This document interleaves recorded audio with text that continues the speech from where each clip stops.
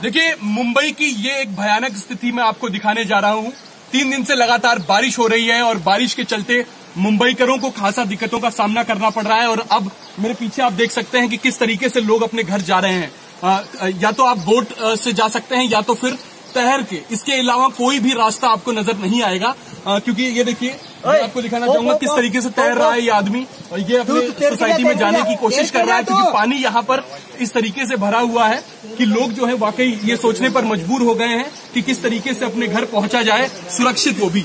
लेकिन fire brigade की team जो है वो पूरी तरीके से एहतियात बरत रही है। लोगों को अपने घर तक पहुँचाने में ये वाकई एक बहुत बड़ा इनिशिएटिव है इनके ज़रिए।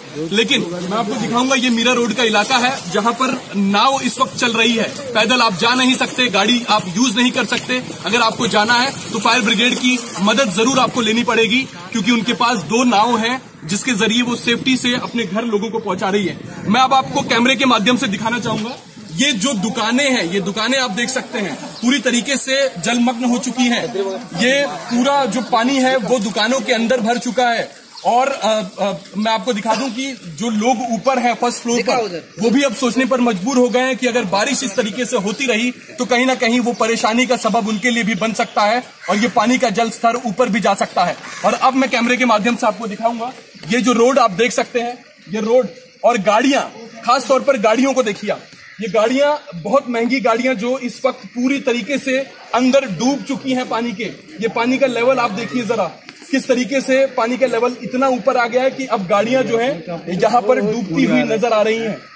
लोग जो है आ, कोई नाव से देखिए सामने नाव आ रही है नाव से या फिर देखिए किसी भी तरीके से अपने घर पहुँचना चाहते हैं खाली। लेकिन वहीं मैं आपको बात करूँ बीएमसी की तो अभी यहाँ पर देखिए इलेक्ट्रिक का एक इलेक्ट्रिक कह सकते हैं कि यहाँ से सप्लाई जाती है। यहाँ पर भी एहतियातन अगर ना बरता जाए तो बहुत बड़ा हादसा हो सकता है। मैं आपको बता दूँ। लेकिन समझने वाली बात यह भी है कि अगर आप नाव से अपने घर जाते भी हैं तो भी दिक्कत आपको जो है वो आपका पीछा नहीं छोड़ती है क्योंकि इतना ज़बरदस्त पानी है लगातार बारिश हो रही है भले ही आ, हर तरीके से जो है लोग आपस में एक दूसरे की मदद भी कर रहे हैं लेकिन अगर बारिश इसी तरीके